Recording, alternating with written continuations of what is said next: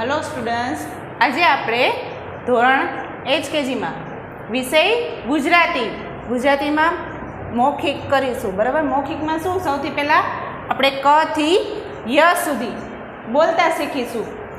તો તો બોલવાની શરૂઆત કરીએ.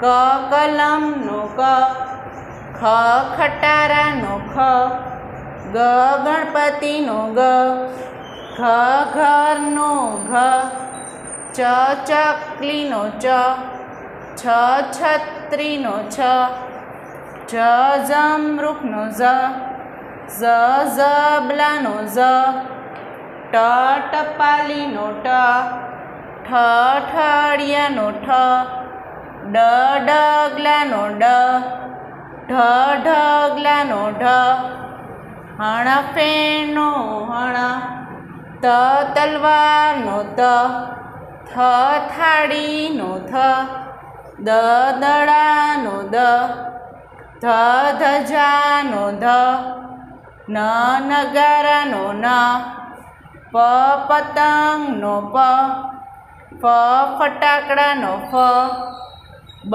બકરીનો બ, ભ ભમેડાનો ભ મ મગરનો મ, ય યતીશનો ય.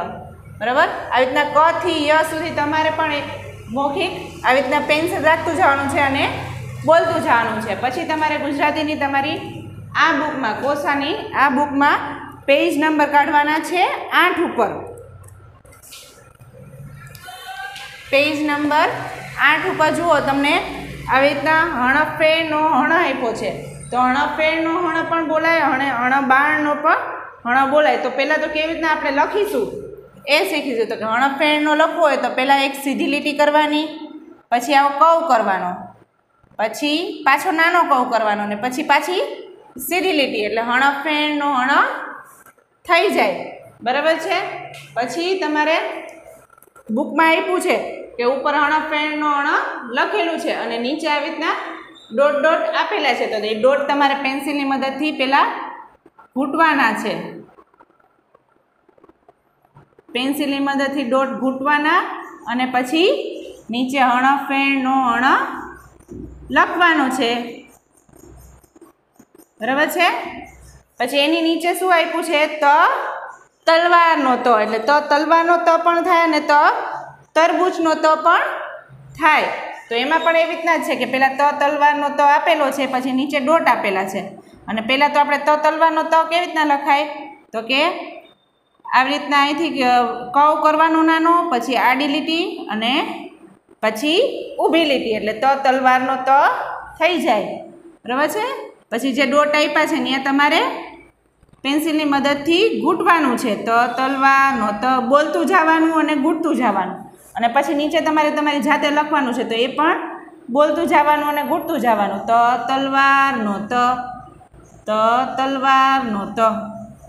એ રીતના પેજ નંબર આઠ.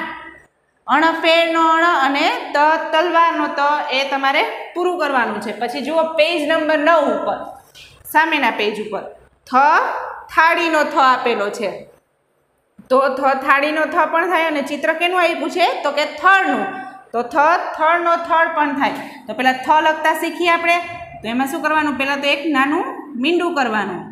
પછી એને જોઈન્ટ કરીને અહીં સુધી લઈ જવાનું અને પછી લાકડી કરવાની. એટલે થ થલવારનો થ સોરી થ થાળીનો થ થઈ જાય.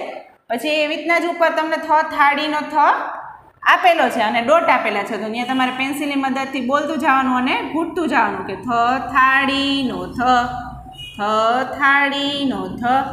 અને નીચે તમારી જાતે તમારે પેન્સિલની મદદથી લખવાનું છે કે થ થાળીનો થ થ થાળીનો થ. બરાબર? એવી રીતે. પછી એની નીચે છે દ, દડાનો દ. શું છે? દ, દડાનો દ. તો દ, દડાનો દ કેમ લખાય? પહેલાં એક કવ આવી રીતના અને બીજો કવ.